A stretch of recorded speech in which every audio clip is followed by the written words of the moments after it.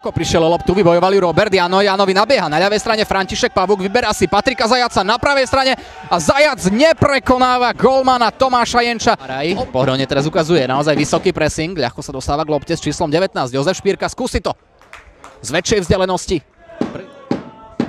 Pavukov auto na človečka. Človečkov center na Roberta Jana. Robert Jano sa dostal k hlavičkovému zakončeniu.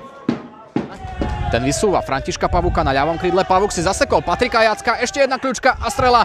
Tomáš Jenčo musel boxovať len pred Lukáša Mihalíka.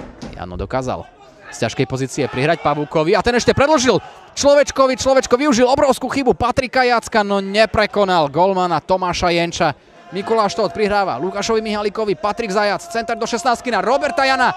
Janové hlavičkové zakončenie z bránkovej čiary. Paraj Vyskúša to Paraj, dobrá strelecká pozícia Paraja. Paraj sa napokon rozhodol prihrávať pod seba na Pellegriniho. Pellegrini na... Tok. Hatok vyzýva Špírku. Špírka vracia Hatokovi, perfektná strela. Ďungel. Stále Ďungel má priestor. Už je v 16 domácich. Ďungelová lopta na Daniela Pavúka nedohry Lokomotívy. Naopak teraz opäť stráti loptu a do šance sa rúti striedajúci hráč Pohronia. Patrik Košuda, Košuda obchádza Cicmana, dokázal odcentrovať na Daniela Pavuka. Daniel Pavuk v 69.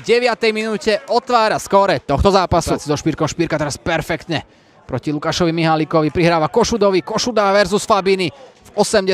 minúte. Čo teraz zahodil Patrik Košuda? krátko Človečko si vymenil loptu s Tótom. Človečko teraz prihral Pavúkovi, ten vrátil Človečkovi, Človečkova strela a je to gól v 82. minúte. Radoslav Človečko, krásna kombinácia lokomotívy na malom priestore.